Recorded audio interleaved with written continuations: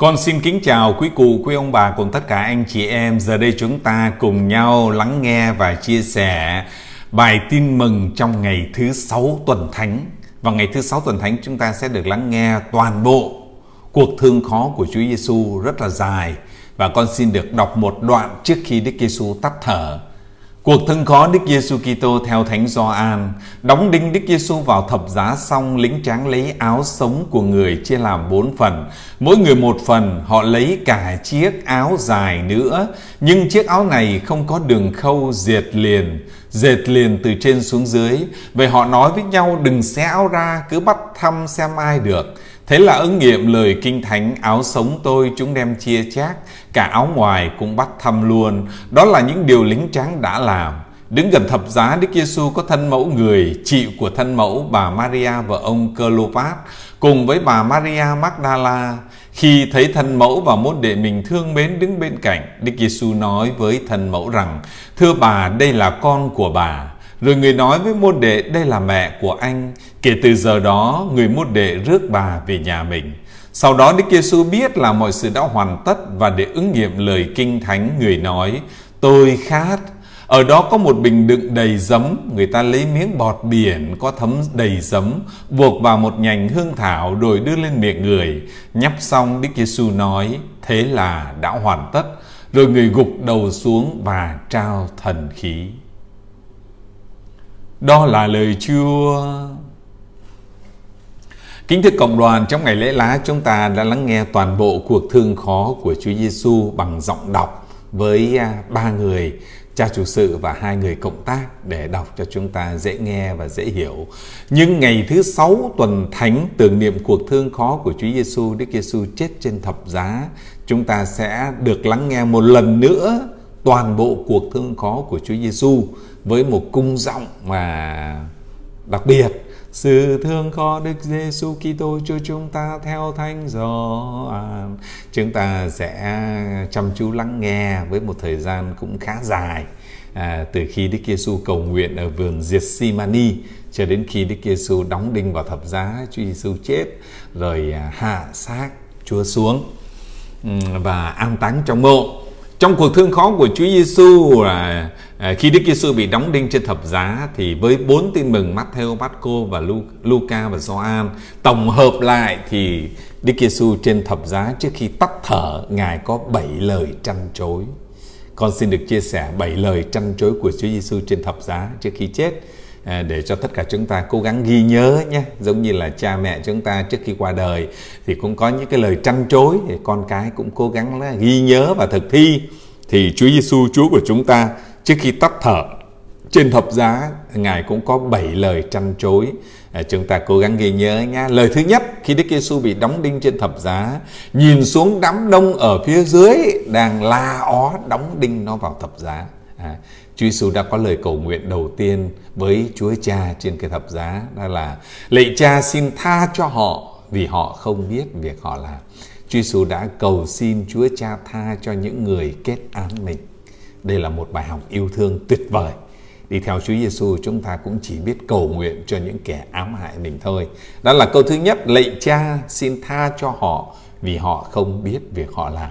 Chúng ta luôn luôn là học nơi Chúa Giêsu à, bài học cầu nguyện cho những kẻ ám hại chúng ta.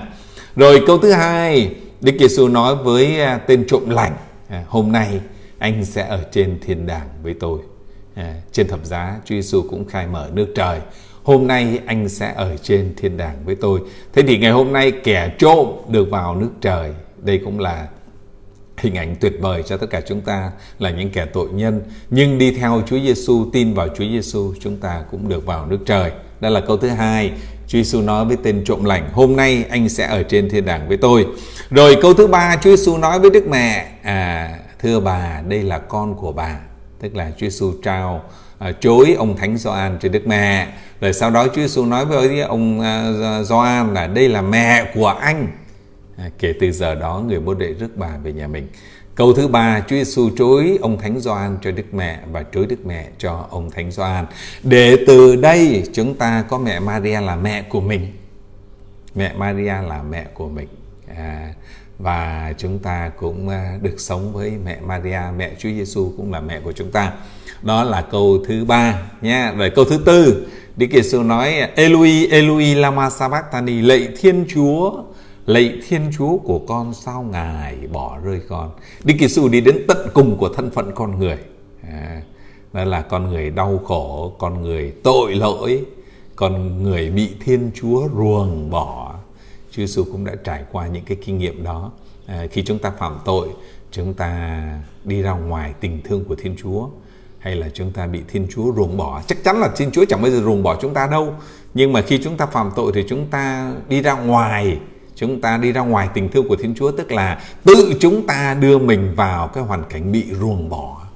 Thì Chúa Giêsu mang cái tội lỗi của con người nên Chúa Giêsu cũng có cũng phải trải qua cái thời khắc là bị tội lỗi làm xa cách Thiên Chúa Cha. Lạy Cha, uh, lạy Thiên Chúa, lạy Thiên Chúa của con sao Ngài bỏ rơi con. Đó là câu thứ tư nhé. Câu thứ năm, Chúa Giêsu nói ta khát. À, đây là cũng là một cái câu rất là rất là nhiều ý nghĩa. Có lẽ là Thiên Chúa khao khát về với Chúa Cha. Thiên Chúa khao khát chết thay cho nhân loại. Thiên Chúa khao khát con người tin vào Chúa Giêsu để được sống. Chúa Giêsu khao khát ta khát câu thứ năm mà câu thứ sáu mọi sự đã hoàn tất. Tức là Thiên Chúa đã thực thi trọn vẹn tất cả những gì Chúa Cha muốn. Chúa Giêsu đã thực thi trọn vẹn tất cả những gì Chúa Cha muốn. À, và cuối cùng đó là sẵn sàng đi vào cái chết thay cho con người đúng theo thánh ý của Thiên Chúa Cha. Mọi sự đã hoàn tất. Và câu cuối cùng câu thứ bảy Chúa Giêsu nói với Thiên Chúa Cha lạy Cha con phó linh hồn con trong tay Cha lạy cha con phó linh hồn con trong tay cha à, trên hết và cuối cùng Chúa Giêsu luôn luôn là phó thác tất cả trong tay Thiên Chúa Cha. Thế thì cuộc sống của chúng ta cũng vậy. À, nhớ lời trăn trối của Chúa Giêsu, chúng ta cũng phó dâng mạng sống, cuộc sống, cuộc đời của chúng ta trong sự quan phòng của Thiên Chúa Cha. Rồi chúng ta nhắc lại một lần nữa bảy lời trăn trối của Chúa Giêsu để chúng ta ghi nhớ à, để rồi chúng ta có thể à, cố gắng thực thi những lời trăn trối của Chúa Giêsu trên thập giá. Câu thứ nhất, à, lạy cha xin tha cho họ vì họ không biết việc họ làm. Câu thứ hai, hôm nay anh sẽ ở trên thiên đàng với tôi. Câu thứ ba nói với Đức Mẹ, thưa bà đây là con của bà và nói với Tông đồ Gioan, đây là mẹ của anh. Câu thứ tư nói với Chúa Cha, Eloi, Eloi, lama sabachthani, lạy Thiên Chúa, lạy Thiên Chúa của con, sao Ngài bỏ rơi con. Câu thứ năm Chúa Giêsu nói ta khát. Và câu thứ sáu, Chúa Giêsu nói mọi sự đã hoàn tất. Và câu thứ bảy nói với Chúa Cha, lạy Cha, con phó linh hồn con trong tay Cha. Trong ngày thứ sáu tuần thánh chúng ta tưởng niệm cuộc thương khó của Chúa Giêsu. Chúa Giêsu chịu đau khổ, Chúa Giêsu chịu chết vì tội lỗi của tất cả chúng ta.